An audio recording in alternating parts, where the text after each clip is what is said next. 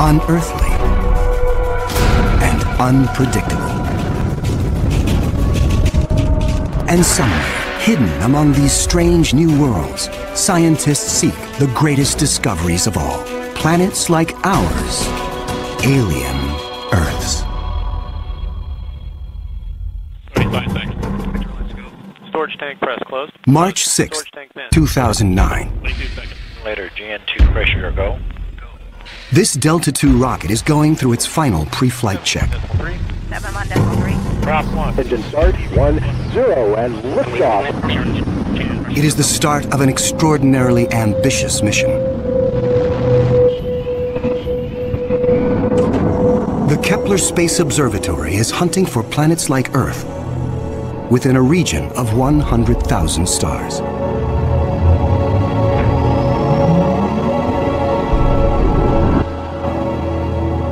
It is the culmination of a journey that began more than a decade ago with one of the most profound scientific discoveries ever made.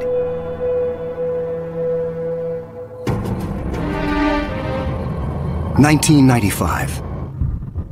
Swiss astronomer Michel Mayor and his team make a routine observation of stars in the constellation Pegasus, located 50 light years away. But the instruments show something strange. One star is violently lurching and wobbling. what we discovered, it's one of these stars have a velocity changing with time. What is powerful enough to disturb a star the size of our sun? Mayor offers a radical answer a planet. But no one has ever seen a planet around another sun like star. problem in detecting planets around other stars is that as a planet orbits a nearby star, that planet gets lost because of its feeble light in the glare of the very bright star. In spite of the odds, Mayor relies on his data and is convinced the wobbles are caused by the gravitational pull of an orbiting planet. When I read this claim from Michel Mayor, I was very skeptical. There had been many false claims of the first planet ever discovered around another star, and I thought to myself, oh boy, here we go again.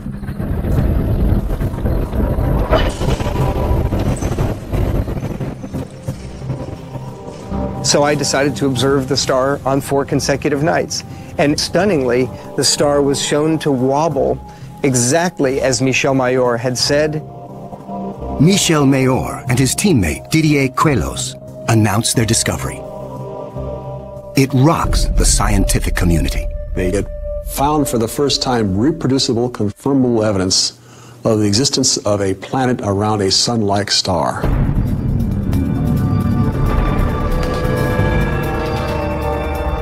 Officially called 51 Pegasi b, the planet is nicknamed Bellerophon in honor of the Greek hero who tamed the winged horse Pegasus. It is a planet that breaks all the rules. Bellerophon roasts in the blazing starlight at temperatures of roughly 1800 degrees Fahrenheit.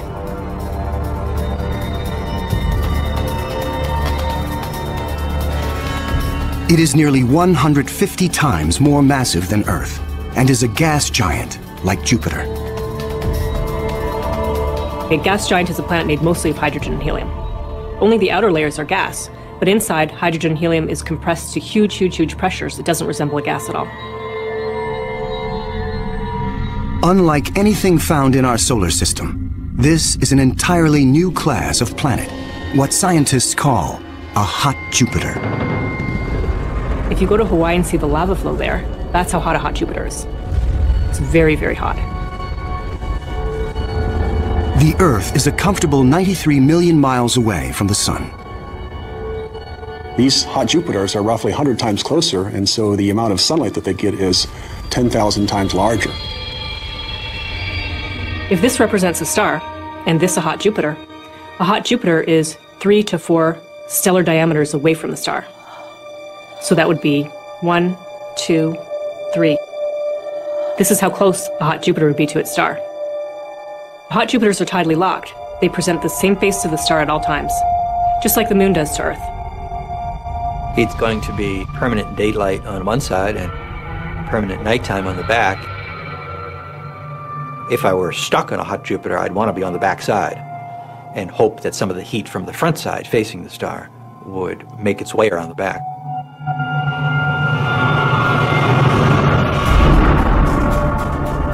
The variations in temperature make Bellerophon's atmosphere extremely windy. The wind howls at thousands of miles per hour, far beyond anything we could ever withstand.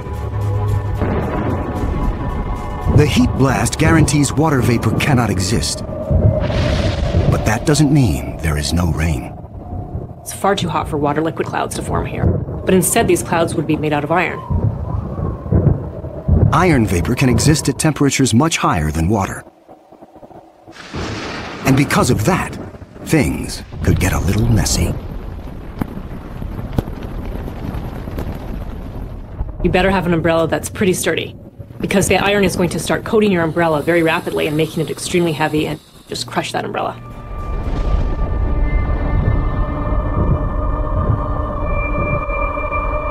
The sky overhead is filled with dancing curtains of color.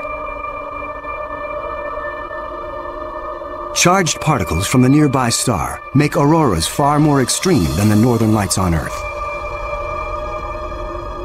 There is something even more unique about this newly discovered world. Bellerophon orbits its sun in a blistering 4.2 days. No self-respecting planet goes around a star in 4.2 days. None of the planets in our solar system take such a short amount of time. For scientists, the tiny orbit challenges long-held notions of how planets form. The fact that the planet was orbiting every four days was a total puzzle until one night in the middle of the night I woke up and said, well, this must be proof that planets migrate inwards. They don't stay put where they are. The key to the puzzle is found in how planets are made. Planets are a byproduct of star formation. When stars form, they have a disk of dust and debris around them, and out of that debris, planets form. Much of what we know comes from Hubble Space Telescope, as it aims at regions like the Eagle Nebula. This interstellar cloud is studded with collapsing disks of dust and gas. A giant clump grows in the center of each disk. Temperatures reach a searing 18 million degrees. The same nuclear fusion that powers our sun is unleashed. The star is born. Radiation from the star generates a stellar wind that sweeps away leftover dust and debris. Some of the dust survives and remains in orbit around the newborn star. Over millions of years, the dust sticks together, forming knots that grow into asteroids, and the asteroids grow into planets. These planets migrate through the disk until they find a stable orbit. This is why Bellerophon is so close to its parent star. But one newly discovered world has found its stable orbit in a place no planet should ever go. 2001. Hubble Space Telescope is directed to an obscure star some 150 light years away from Earth, in the constellation of Pegasus. This is the same region where Bellerophon was found six years earlier. Hubble is tracking another hot Jupiter, discovered by astronomer Geoff Marcy. But this one is different from Bellerophon. You've probably heard of the planet HD 209458b. It's a terrible name. A terrible name for a terrible place. HD 209458b has been dubbed by some as Osiris, after the Egyptian god of the dead. Osiris is over 200 times more massive than Earth. It has migrated perilously close to its sun, at a mere 4 million miles from the blazing solar surface. Osiris broils in a planetary hell. The average daily temperature on Osiris is over 2,000 degrees. Forget global warming. This is global frying, and it causes Osiris to lose an estimated 550,000 tons of air every second. There's a leak of gas, a steady stream of hydrogen and helium, and that's making a big, huge cloud all around the planet. Its atmosphere is bleeding into space. Scientists speculate that a colossal trail of gas spirals behind the planet for thousands of miles. Osiris presents an unprecedented opportunity for astronomers. Using Hubble, they analyze the alien planet's bloated atmosphere. This is the absolutely first time where we could tell what is the composition of the atmosphere of an extrasolar planet.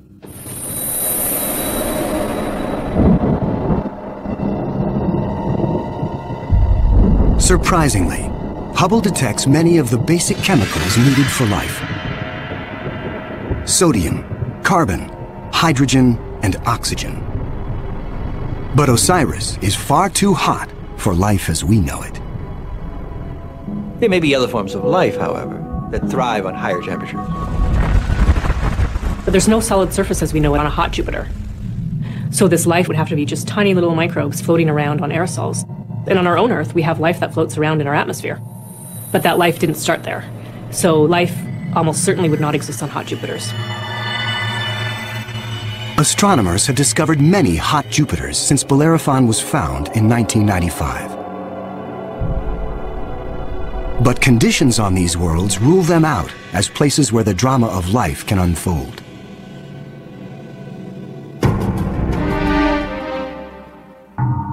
One of these gas giants is a planet that teases the rules of evolution.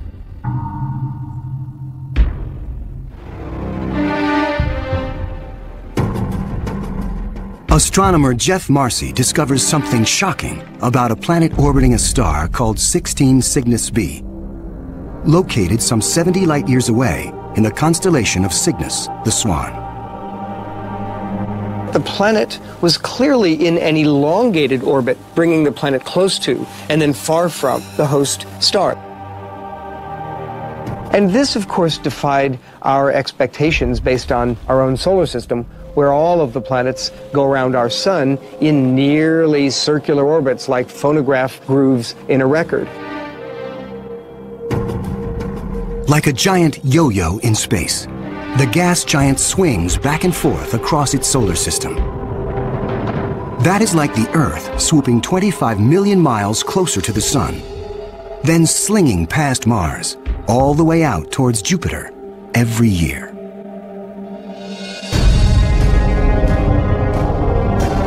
And like all of the gas giants in our solar system, this yo-yo planet might have an entourage of moons. Marcy speculates that one of these moons could be similar to Earth. And here's where the interesting story begins. Imagine a rocky moon with lakes, oceans, maybe streams and waterfalls on the surface. The moon orbiting its planet, the two of them orbiting the host star. Unlike the airless moon that circles the Earth, this moon is a world with extreme seasons. On Earth, the seasons are caused by the tilt of our planet.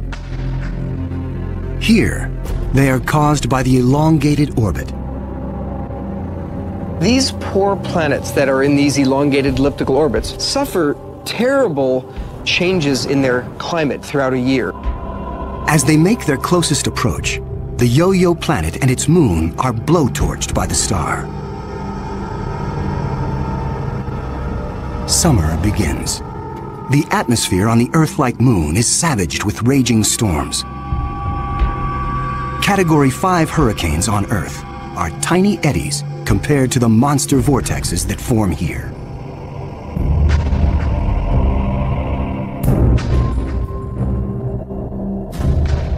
The clouds thicken as the water evaporates. temperatures rise dramatically. Any water or gases would heat up, and indeed the oceans would boil into steam, so you'd end up with a big steam bath. During the peak of the summer, the entire moon is smothered in 800 degree temperatures.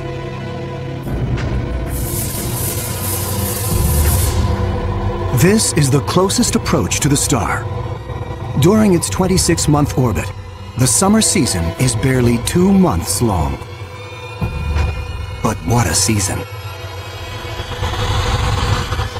The planet and its moon swing away from the furnace of the star. Temperatures fall to ranges we would find temperate and comfortable.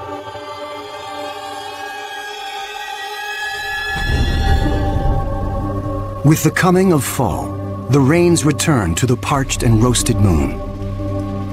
Dry ocean basins are replenished, and the seas rise to form new shorelines. Tranquility prevails as the yo-yo planet and its moon slip into the deep freeze of winter. Now, over 200 million miles from the star, the daytime sky is dark. Temperatures hover around 260 degrees below. Winters are long, lasting 17 months. With the coming of spring, the sun looms large in the skies over this hapless moon as the ice cracks and melts violently.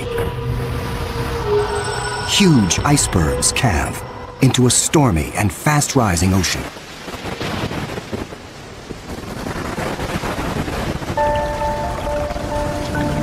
For two preciously short periods, during the spring thaw and the autumn rains, the climate on this Earth-like moon is balmy and comfortable. At a distance of 93 million miles from the star, roughly the same distance as Earth from the Sun, the elliptical orbit of this planet and its moon crosses an area around the star some scientists call the Goldilocks zone. The conditions here are just right for life. If you're too close to the star, then it's too hot. If you're too far away, then it's going to be too cold and everything's going to be icy. But then if you're right in the middle, it's just right. Every star has a Goldilocks zone. Where that zone is depends on the size and temperature of the star. In our solar system, Venus marks the inner boundary and Mars the outer boundary. Earth and its abundance of life is right in the middle. The yo-yo planet passes through the Goldilocks zone twice a year.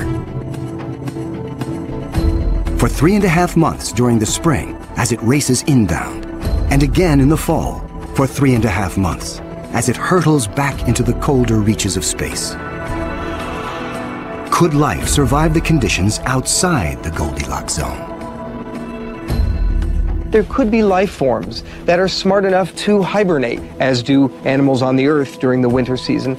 If this sounds fantastic, I offer you the tidal zones on the Earth.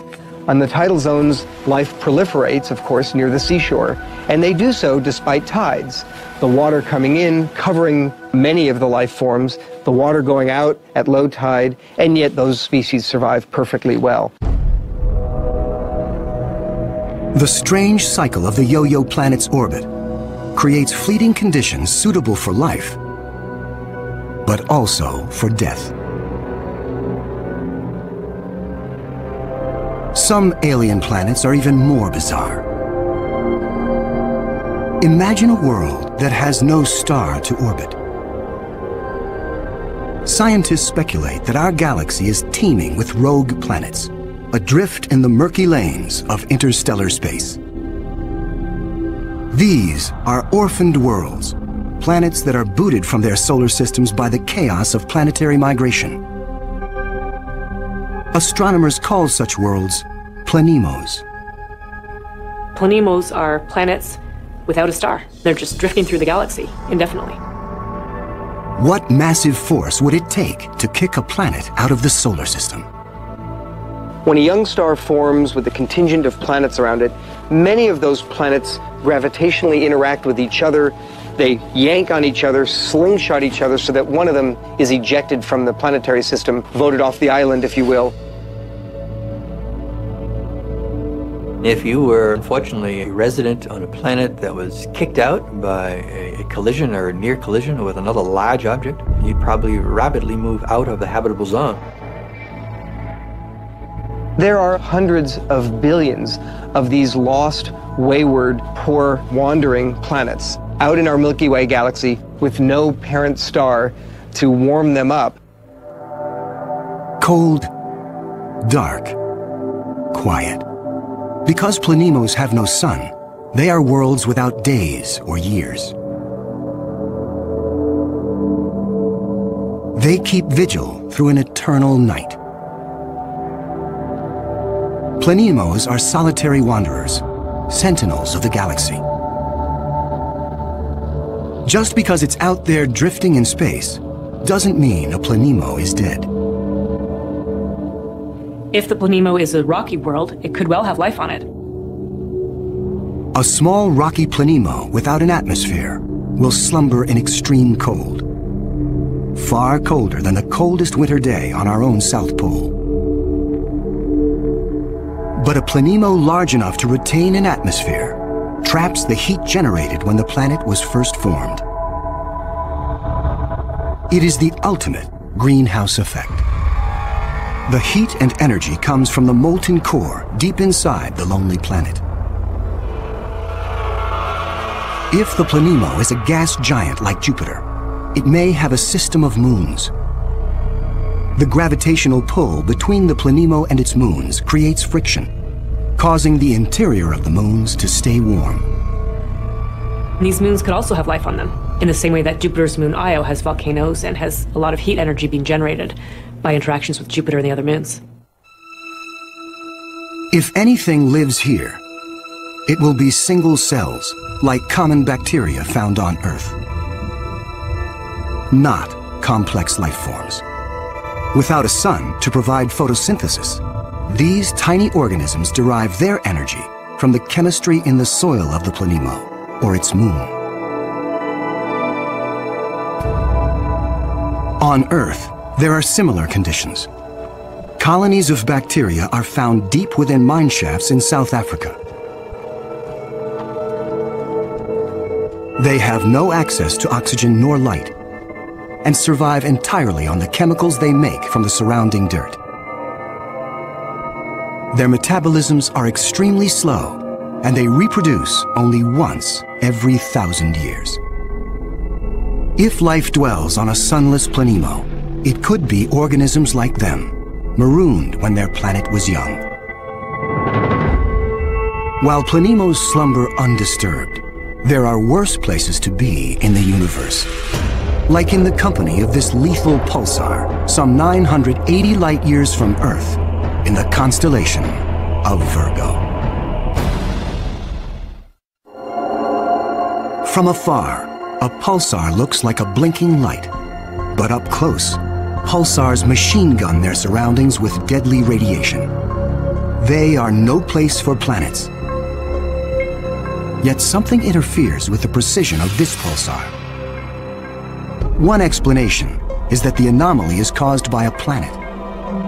But many astronomers are skeptical that planets orbiting a pulsar can exist. The reason that's a problem is because pulsars are formed in these incredible explosions. When a red giant star explodes, a titanic fireball known as a supernova unleashes as much energy in one minute as our sun generates in its lifetime. When a star goes supernova, the shockwave is so immense it's hard to imagine any planet surviving that. When the cosmic dust clears, all that remains is the crushed core of the red giant, pulsing in the heart of an expanding debris field. Matter blasted from the colossal explosion falls back to the pulsar and forms a disk. Within this chaos, a new world arises, born of fire and destruction, a planetary zombie raised from the carcass of the former red giant star. It's amazing that planets could form in that environment. A planet orbiting a pulsar will give you the feeling of being in a disco bar with a very strong strobe light, which is the pulsar. Radiation from this stellar beast breaks down the organic molecules needed for life. The pulsar has these very strong magnetic fields that are being spun around as the star is rotating quickly, and it's picking up any material, electrons, protons, and speeding them up and slinging them out at, at high speed. So it's like a, a, a solar wind with a vengeance.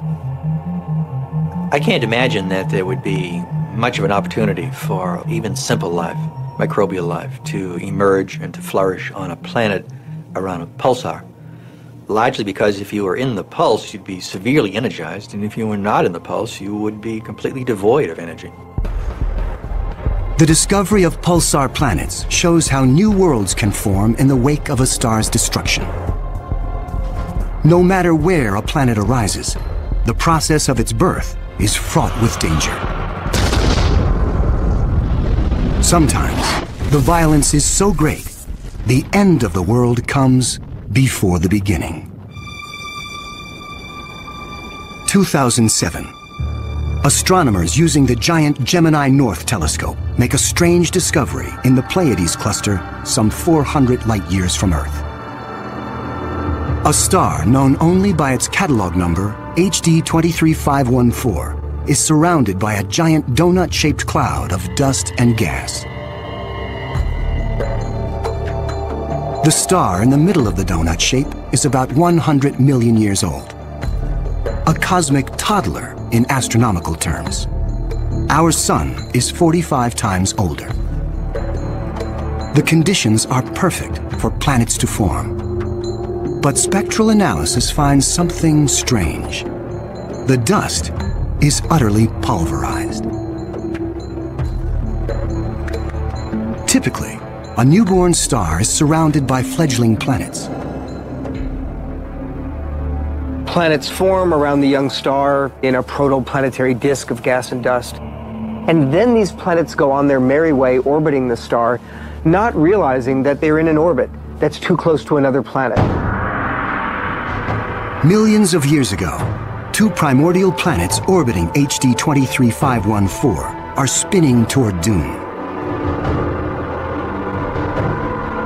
As the two worlds close in, tidal forces torque each planet from spheres to egg shapes.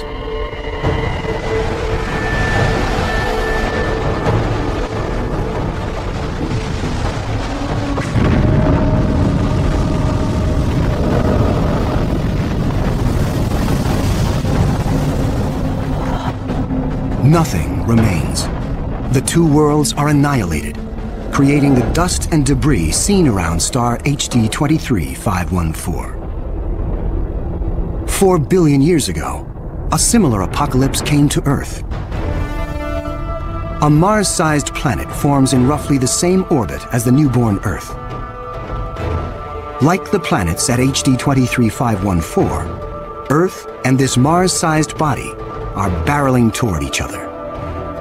You happen to be unlucky enough to be standing on a growing planet when it was the process of still becoming the Earth, uh, you might wake up one morning and notice that the sky was getting darker and darker as a Mars-sized body was coming at you within a period of, of less than an hour.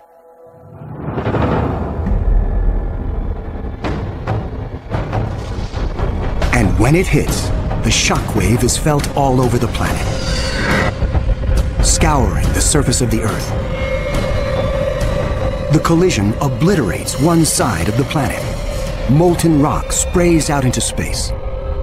The entire globe is peppered by meteors and noxious vapor. It would actually make hell look like a Bahamas vacation.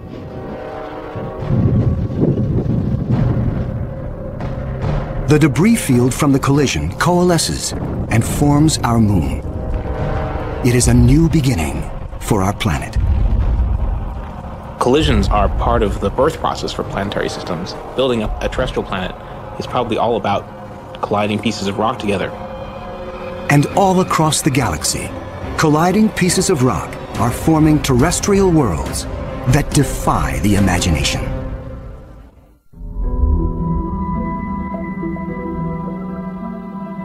There is a new planet out there, a planet we were not aware of existing before. It is not just one planet. It is a new type of planet.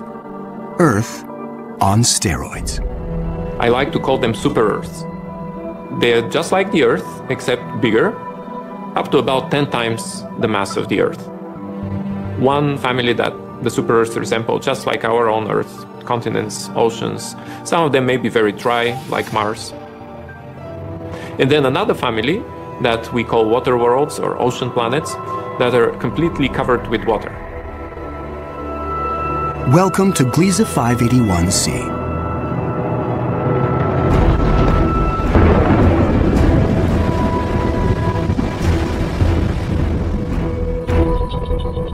This planet was found by Michel Mayor, and it orbits with two other planets around a very small star. It's only 20 light years away, in the constellation of Libra, and is one of the smallest terrestrial planets found beyond our solar system. That doesn't mean Gliese 581c is small. It's still a super-Earth, with five times the mass of our home planet. But it's the possibility of liquid water that excites scientists. An ocean planet feels like being in the middle of the Pacific Ocean, with no land in sight, just water, puffy white clouds, and blue sky above you. The winds on the ocean world are going to be similar to that of the Earth, so it will be a very good place to sail. The weather's absolutely perfect. Every day you get a clear blue sky, and the sun just stays in the same place. Now, how's that for weather prediction? No land anywhere. Even miles beneath the surface. This water layer would extend very far down, at least a quarter of the way down in the planet. But as we dive deeper into the sea, the pressure builds. At 35,000 feet below the surface, we pass the point where the deepest oceans on Earth bottom out. We pass the 100,000 foot mark.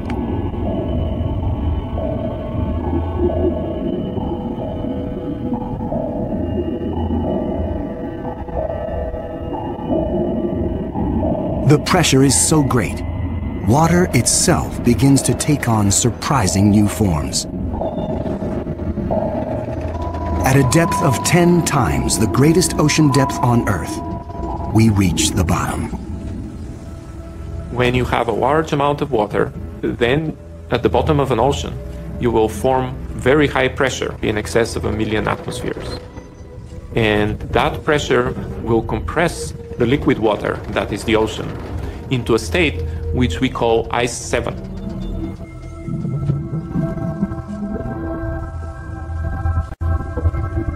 No, it's not like ice in your refrigerator. The molecules of water that are in the ice in your refrigerator are kind of all jumbled up. But if you form ice under very high pressure, then the water molecules can become ordered, they can become aligned.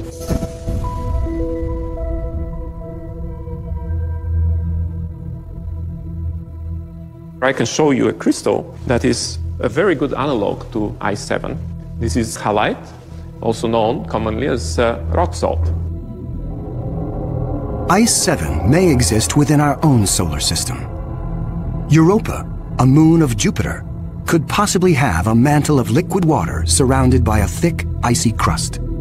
The pressure from the crust is so great that Ice 7 might exist deep within these uncharted seas. If we scale up and thaw out Europa, it could be a water world similar to Gliese 581c. One could imagine that life could emerge on a water world.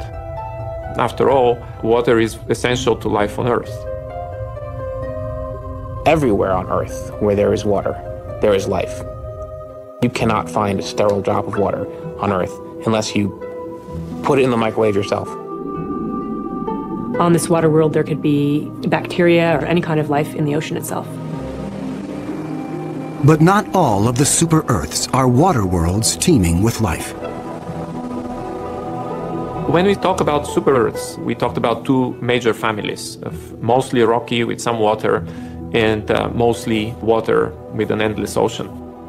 But one has to add to those a third family of probably very rare super Earths and Earth like planets, which uh, are called carbon planets. A carbon planet is unlike anything we've ever seen anywhere.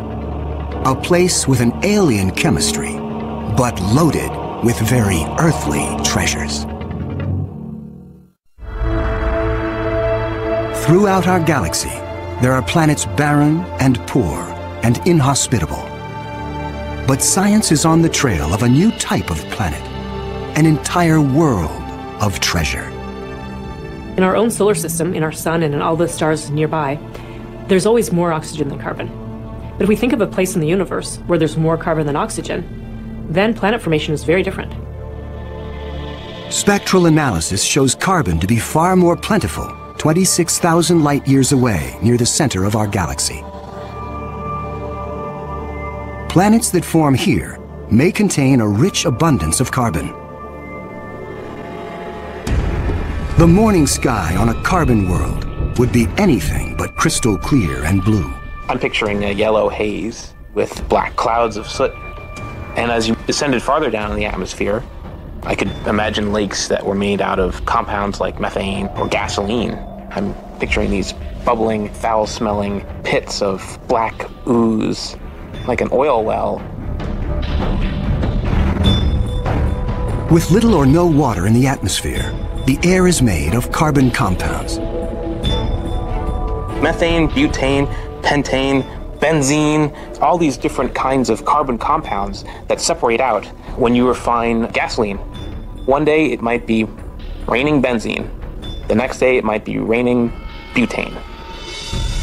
Alien as carbon planets might seem, the air quality could be familiar to some.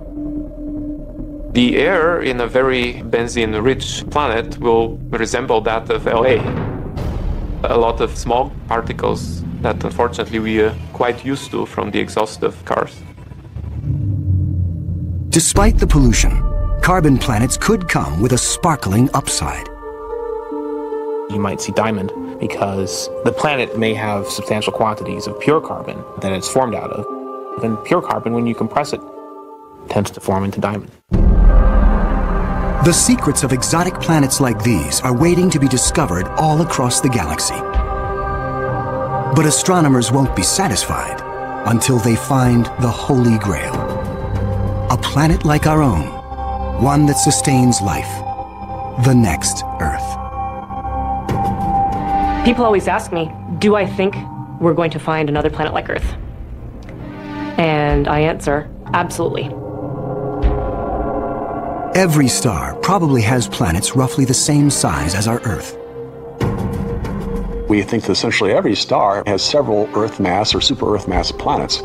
So if you have, say, 200 billion stars in the galaxy, that may mean there are 400 billion Earths in the galaxy or more. 400 billion Earths.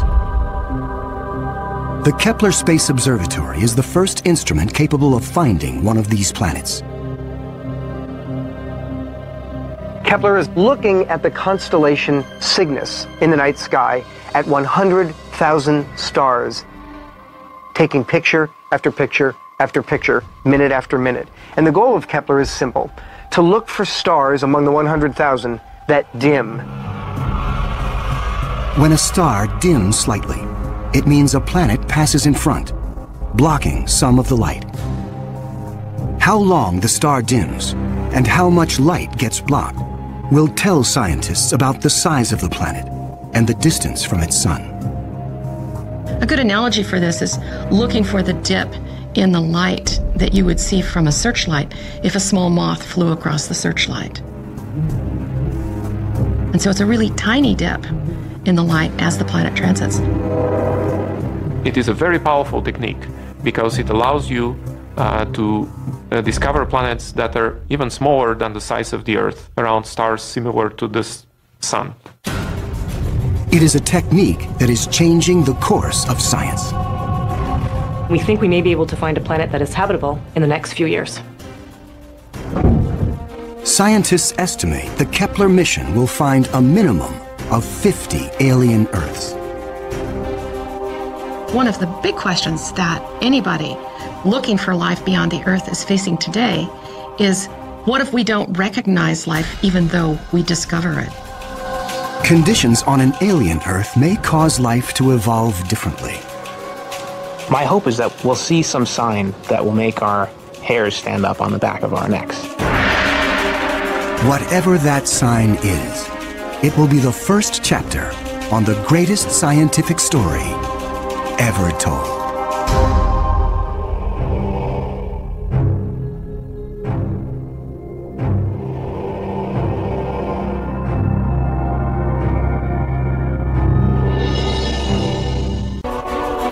Unearthly and unpredictable. And somewhere, hidden among these strange new worlds, scientists seek the greatest discoveries of all. Planets like ours, alien Earths. Storage tank press closed. March 6, 2009. Later, GN2 pressure go. This Delta II rocket is going through its final pre-flight check. Prop one. Engine start. One, zero, and liftoff. It is the start of an extraordinarily ambitious mission. The Kepler Space Observatory is hunting for planets like Earth within a region of 100,000 stars.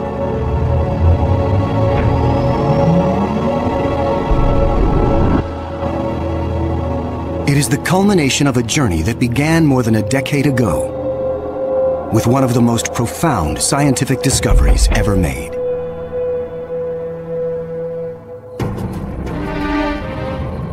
Nineteen ninety-five.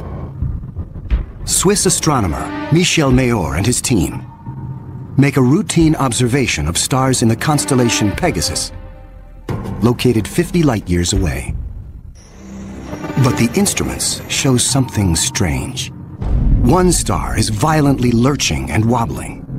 What we discovered, it's one of these stars have a velocity changing with time. What is powerful enough to disturb a star the size of our sun? Mayor offers a radical answer a planet. But no one has ever seen a planet around another sun like star. Problem in detecting planets around other stars is that as a planet orbits a nearby star, that planet gets lost because of its feeble light in the glare of the very bright star. In spite of the odds, Mayor relies on his data and is convinced the wobbles are caused by the gravitational pull of an orbiting planet. When I read this claim from Michel Mayor, I was very skeptical. There had been many false claims of the first planet ever discovered around another star, and I thought to myself, oh boy, here we go again.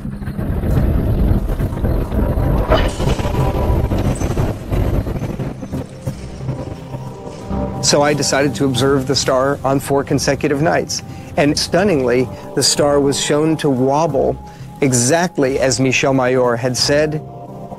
Michel Mayor and his teammate Didier Queloz announce their discovery. It rocks the scientific community. They had found for the first time reproducible, confirmable evidence of the existence of a planet around a sun like star.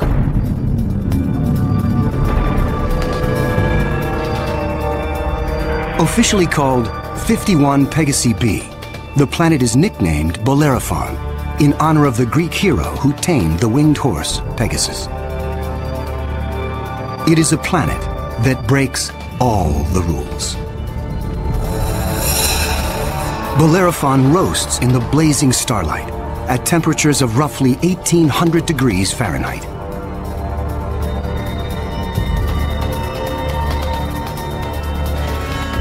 It is nearly 150 times more massive than Earth and is a gas giant like Jupiter.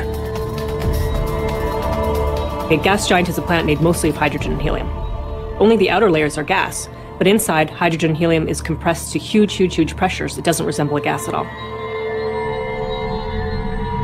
Unlike anything found in our solar system, this is an entirely new class of planet, what scientists call a hot Jupiter.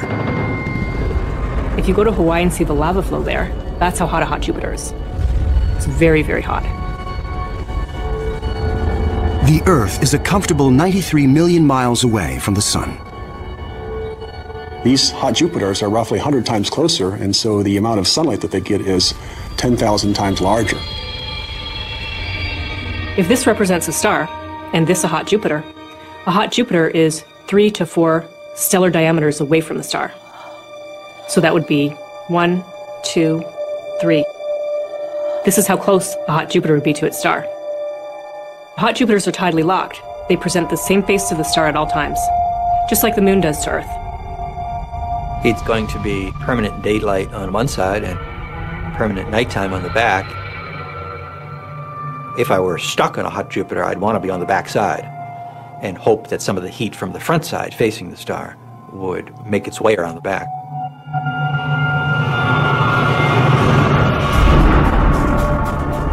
The variations in temperature make Bellerophon's atmosphere extremely windy.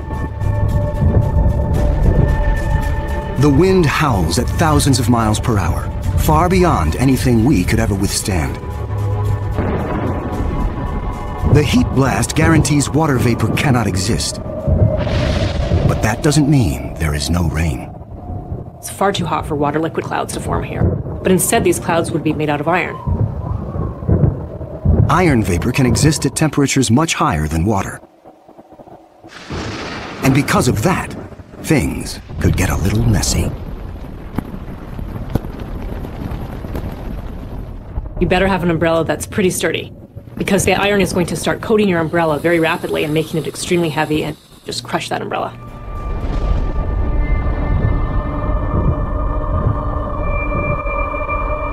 The sky overhead is filled with dancing curtains of color. Charged particles from the nearby star make auroras far more extreme than the northern lights on Earth. There is something even more unique about this newly discovered world. Bellerophon orbits its sun in a blistering 4.2 days.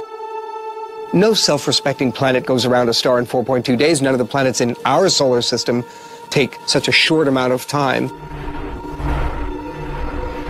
For scientists, the tiny orbit challenges long-held notions of how planets form. The fact that the planet was orbiting every four days was a total puzzle until one night in the middle of the night I woke up and said, well, this must be proof that planets migrate inwards. They don't stay put where they are. The key to the puzzle is found in how planets are made. Planets are a byproduct of star formation. When stars form, they have a disk of dust and debris around them, and out of that debris, planets form. Much of what we know comes from Hubble's Space Telescope, as it aims at regions like the Eagle Nebula. This interstellar cloud is studded with collapsing disks of dust and gas. A giant clump grows in the center of each disk. Temperatures reach a searing 18 million degrees. The same nuclear fusion that powers our sun is unleashed.